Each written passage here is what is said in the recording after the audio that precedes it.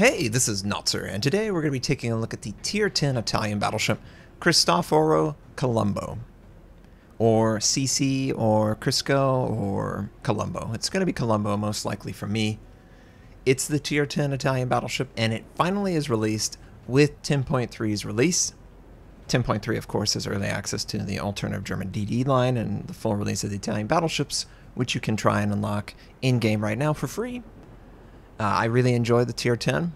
I really enjoyed a lot of the Italian battleships, but this Tier 10 is very special in my opinion. Just 16 guns.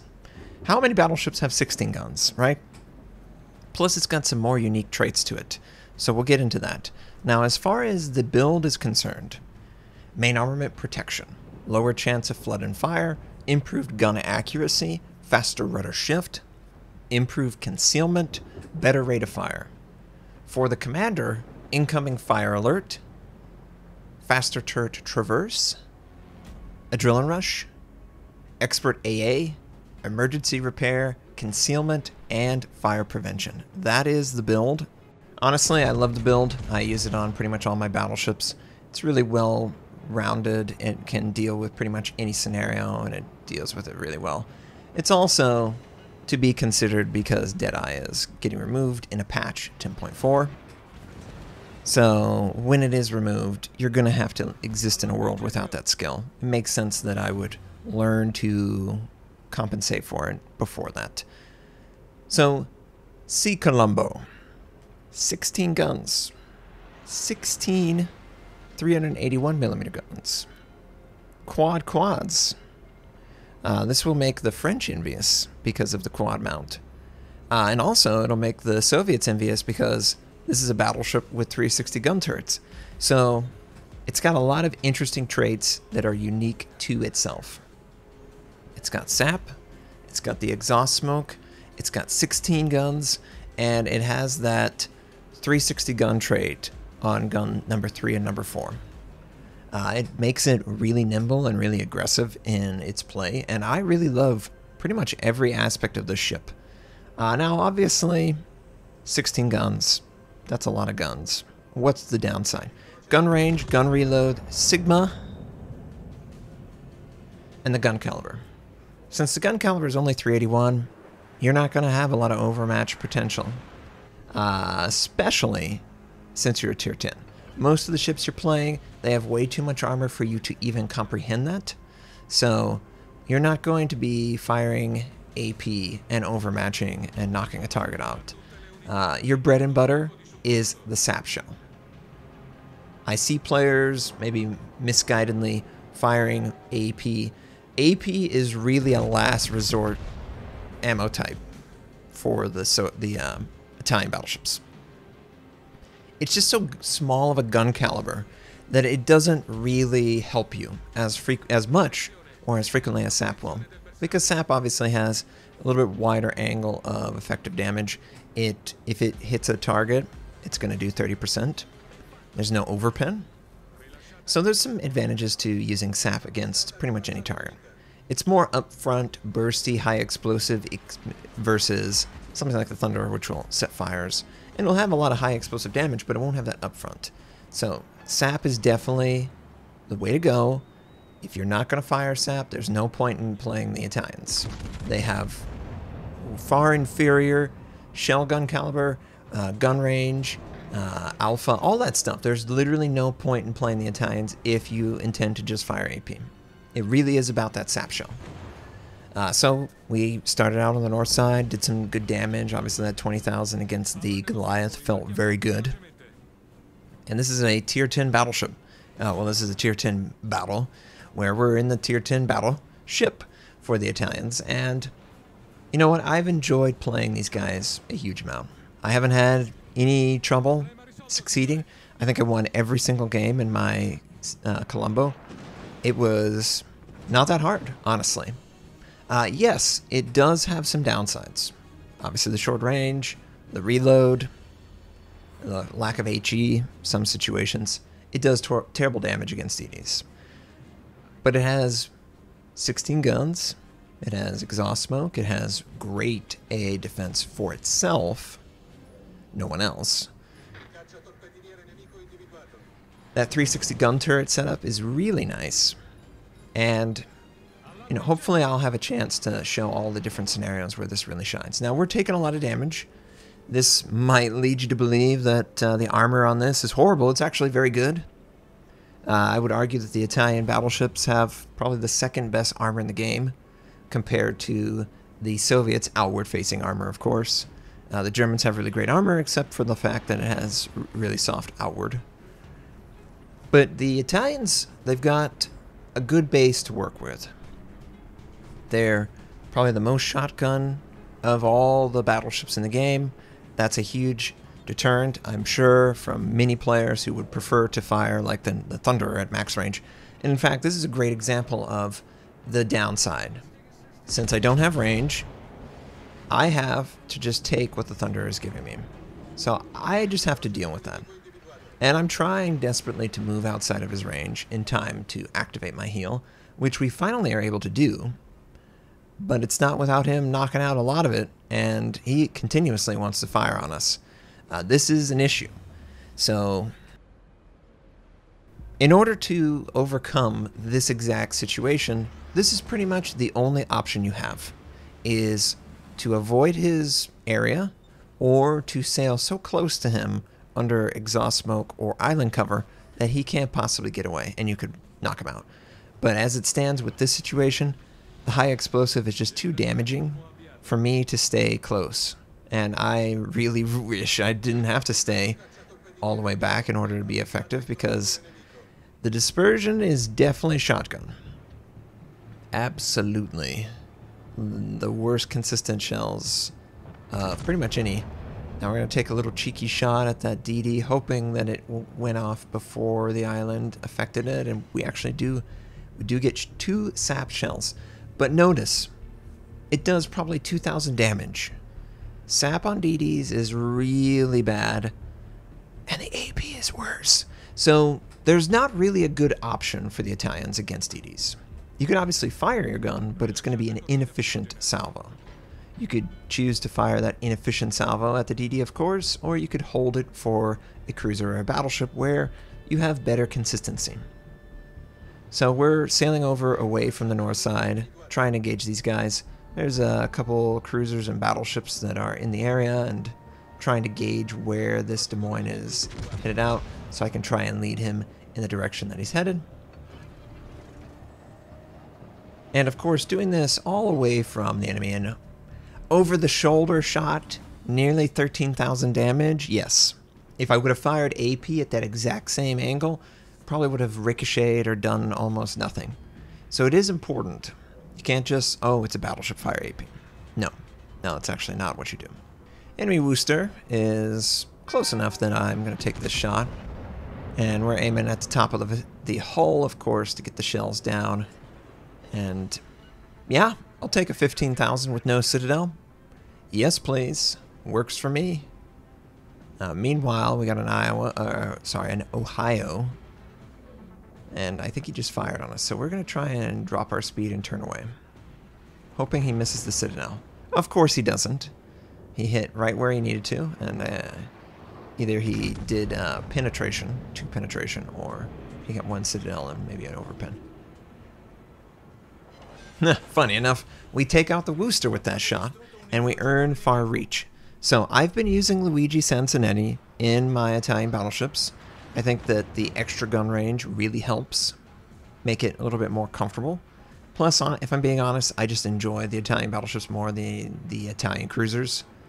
Uh, we'll see if that continues, but for me personally, I just find the sap mechanic pretty interesting. Just how bursty this really is. Uh, in this Ohio, he is doing so much work to us we are trying desperately to avoid death. At this point in the game, I felt like there was nothing I could do. I was going to die. He only has to land, what, three shells from any angle, and we're knocked out. Uh, so I'm just hopefully giving ground and using the heal. And at this point, it's like, okay, we could we could fire our gun, or we could wait for the Ohio to fire his gun, and then we fire in re uh, response knowing that he cannot actually fire on us. So I was just going to wait, wait until the enemy fires all his guns, which he does, and then we load and fire at the top of his hull. Uh, and he's also going to take pretty significant torpedo damage and whew, 20,000. It's so chunky, it's so bursty. I can't imagine you not succeeding if you just try and mimic how I'm playing this. You want to aim high. You don't want to aim at the waterline. It's sap shell, it's not going to citadel. You want to aim for the superstructure on the top of the hull, the bow and stern. That's the best location for sap to do the most damage. There's really no reason to locate the shell anywhere else. And you can clearly see it works very well from many different angles and ranges. There's always going to be enough chunkiness that's taken out of the target that makes you feel like, okay, this is this is worth me continuing this process because eventually he will be taken out. So we're going to use our scout aircraft. Again, highly encourage the scout aircraft. Uh, highly discourage the fighter. This, the Italian battleships have great, oh nice, another great salvo.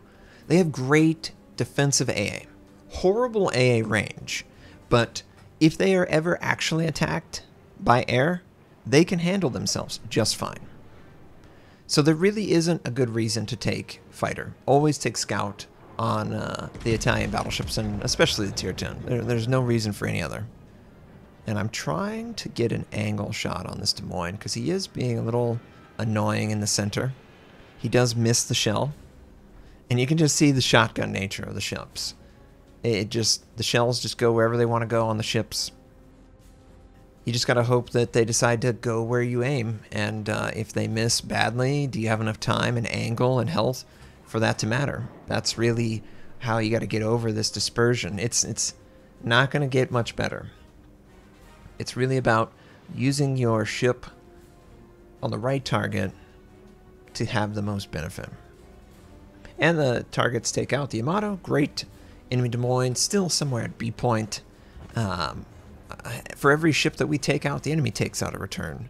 And they also have two bases to our one, and was concerned that we wouldn't have a chance to return the favor. So it looked like the Des Moines wanted to head towards the middle of the map. I do think he's going to harass my friendly DD. So in response to that, I wanted to make sure we had enough shells on the target that would punish that, and we definitely did. Uh, I do think, though, unfortunately, he's going to avoid line of sight directly, and it'll happen to be maybe the Stalingrad or another friendly. I, I don't have a clear shot on the Des Moines. Gun velocity is really good. You know, it's not the best, but it's certainly not the worst. It's probably top three, top four on gun velocity, so it's easy to hit your targets. You just have a cap on your range. Um, there are players who might go range in slot 6 module. Absolutely, that's a fine way to play. Uh, but for me personally, I can make this ship work very well without increasing its range. And uh, I do that partially because I'm taking advantage of the 360 gun turret nature. You can really dip in and dip out, and here's a great, great transition. Because of the situation, we were angled for the Des Moines for port side, but we want to transition to the starboard side to engage the Holland. The back guns basically are in position before the front guns get in position. So it is very simple to have all your guns facing the other direction if you are in that forward-facing position. It's, of course, going to discourage... Ooh, nice. That was a nice, healthy broadside that we needed because the Holland had just taken out a friendly. Uh, but with this ship design, it really encourages you to bow into every position and to angle and aggressively uh, show aside for all four quad mounts and then go back to a neutral pose uh, and really reduce the incoming damage. You don't have a lot of hit points, Hopefully you guys are aware of that. 89,000 at tier 10 is not a lot, but it, it is because of the amount of armor, the 360 gun turrets. You can pretty much dictate the pace of the game from a battleship standpoint. Uh, not every battleship can do that, but you can always not be am ambushed. So that's a nice trait of this Italian ship. Not all the Italian battleships get that, but the tier 10 has that 360 gun turret, so you can pretty much, if you react within 10 or 15 seconds of somewhere on the map or the mini map relocation, it's it's very easy to have them in position and fire on them. And the angle of fire, very effective, very useful. So we're moving towards B, knowing that we need to get a base capture, knowing that I need to get a kill on the Italian cruiser. We do open up our stance, of course, to fire all four gun turrets. And we're elevating the guns, hopefully getting good shell dispersion. We do get good shell dispersion. Now, I could have used smoke there, drop off detection, and he would never have actually returned fire on us, and we would have captured the base there. I'm afraid if I do that, he might take advantage of that and drop off. I just was hesitant in that moment. And plus, it's the last smoke charge. I still feel like there's a lot we have to work on in this. So I didn't want to make that, that decision. And we get a good damage there. But he's still alive. And I, I, I just can't risk another salvo. I have to activate my heal. Uh, of course, he's continuously firing on us and we're just trying to reduce the incoming. Anytime he fires, we're going to slow our rudder and turn in. Uh, and the nice thing, of course, those gun turrets, man, I, I, it's really impressive mechanic. That, that it's so easy for you to be able to load and fire and whatever side of the ship, you'll do a good job. And is this going to kill him? It does end up knocking him out, finally. Uh, and we're nearly able to capture the base. I don't know exactly where the enemy cruisers are. I know the Goliath and uh, Alexander Nevsky are on the other side of this map. Uh, they have just captured C probably 40 or 50 seconds ago, and it does look like one of the two is retreating from that capture. Uh, I would love to capture the space and then go forward. Secondary armament is pretty much 90 millimeter. It's not looking for penetration. It's exclusively looking for fires set because secondaries are so poor right now in the game, I would not personally play secondaries. You can obviously see that secondary build is not necessary for success. Eh, oh, and it also has 152 as well. But secondaries are not necessary for success. I really don't see myself recommending them. Um, I really just like the tankiness. And uh, we unlocked concealed reserves because of the amount of shells they hit. Uh, 100 shells. Very easy to do, actually, with 16. Uh, it feels great. I mean, the amount of damage it can do, yeah, it really shines. Ooh. And uh, Alexander Nevsky knocked out by the Shima. All that remains is the Goliath. Uh, so, low amount of hit points, above average to great armor. Uh, the amount of guns, top top in the the class. 16, amazing. Sap, amazing shell. Exhaust smoke, fantastic for relocating at the beginning, relocating mid, late, and is this enough to kill him? Are you kidding me? 974 points left. So I'm not going to be the one that kills him. Someone else is going to kill him, and I just get to watch it, of course. Love the chunky alpha of that sap shell. Love the maneuverability. Love the 360 gun turret. It really shines in all the right ways for me personally as a brawling D, uh, battleship with, you know, chunkiness in its guns. I really like the experience. I see myself playing a lot of this, and uh, hopefully you guys enjoy that game. If you did, like it. If you disliked it, please dislike it. Uh, you could subscribe to my channel. Yeah, 3000 base XP. Woot! Uh, you can subscribe to my channel. We do World of Warship videos. You can take advantage of my recruit invite on the screen for North America. I stream at twitch.tv slash Notser. Thank you and have a wonderful day.